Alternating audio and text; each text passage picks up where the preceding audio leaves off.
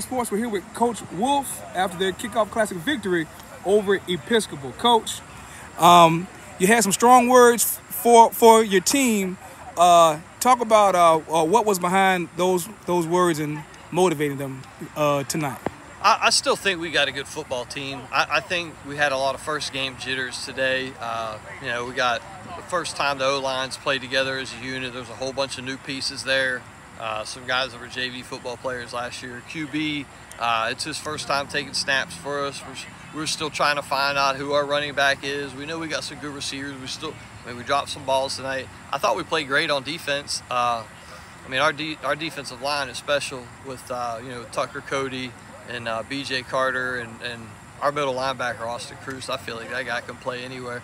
DBs look good tonight. Uh, sophomore phenom that we got, Vaughn Lane, T.J. Lane's little brother, our running back last year, had a pick six, so it was good for him. Like I said, I, I thought we played really good on defense. Uh, you know, we if it wasn't for that uh, sideline penalty, like we had him off the field and when, when we we pitched a shutout. So I don't know. I feel like we played good on defense. We still got a long ways to go on offense, though the holes were there. Uh, um, you could see that the line was really uh, pushing the defensive line back. Uh, what are you excited about with your offensive line?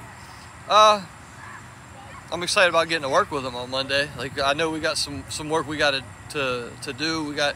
I feel like there was some things, some blitzes and stuff that we didn't pick up as good as I thought we should have. Uh, I thought our, our, our, second running back that came in, Kendrick O'Neal, played really good. I think I think I think we might have found out who our back is, which is good. That allows us to move Jaden Boyd. You know, he's a Division One DB, so it allows us to move him to play a little DB. So, uh, fullback played great. Travis McStevenson. Um, so we just got a few things we got to clean up up front. I thought I thought we played okay, I, but it's just a little sloppy. But I guess you're that's going to happen, you know, in a first game in a preseason classic it showed tonight that you have, I mean, playmakers. I mean, the speed uh, took it to the house on offense, took it to the house on uh, defense. That's got to be a good feeling to uh, know that you got uh, playmakers that can change the game at any time. Yeah, we do. We got we got some speed on the perimeter with with Aiden Worthy and Braden Street and, and Jabo Jenkins and Jaron Rozier. Like, um, we got some threats on the outside for sure. We just we got to shore some things up front so we can so the QB's got a little time to get the ball to them.